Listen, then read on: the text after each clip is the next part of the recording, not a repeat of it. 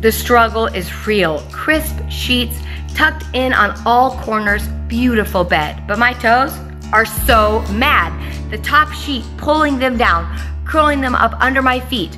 They aren't actually trapped.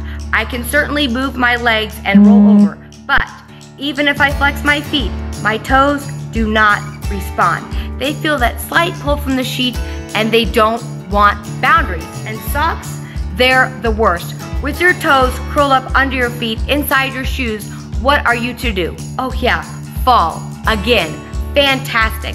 And so, compromise. Sheets don't need to be tucked in. I don't need to wear socks, or do I? Right after my brain injury, I didn't even know adults could actually feel and control their toes. I certainly couldn't. I didn't even know to care. Why? Because boundaries didn't seemingly exist. Back then, I wasn't frustrated every single night yelling at my toes, mad at my sheets, nor was I smashing my fingers into the tops of my shoes each day trying to straighten out my toes. But I was falling a lot more, unaware that I was the one causing the problem. Sure, life without boundaries, superb until you untuck the sheets on your finances, spending goes this way and that, and you find yourself cold with the sheets of your finances all tangled up over there on the floor, and you have no idea how the sheets of your money got all messed up, or your relationship. Why boundaries, you say? You were in this because they made you happy. But now there's stress, kids, work, money, and conversations, situations, and um, their obligations that you don't like. You're not happy, and you can't continue to be pulled down. Um, hello, Whitney's toes. So you take off those marriage socks. Let me be free. I want this life of mine, like these stinking toes.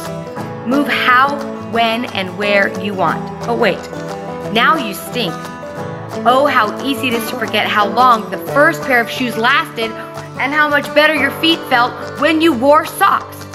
And how much better your shoes stood the test when you were wearing socks too.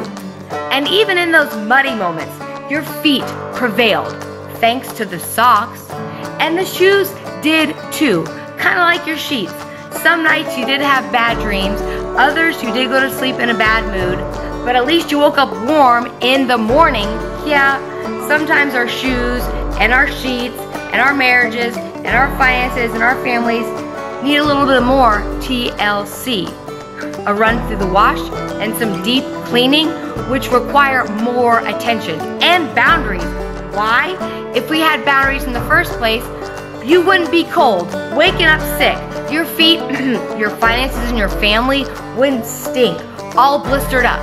And at church this past weekend, our pastor hit the nail on the head. He said, even marriages made in heaven still have to live in this world, just like everything else and all the rest of us. Yeah, us humans, boundaries are crossed. But their initial design, boundaries by God, weren't made to keep us in or hold us back. Boundaries by design, by His design, are for our hearts, for our joy. If boundaries did not exist, how would we know what contentment was or accomplishment?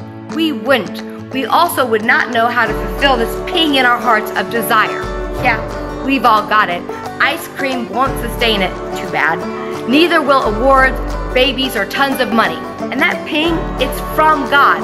It's for God, and He is not compromised.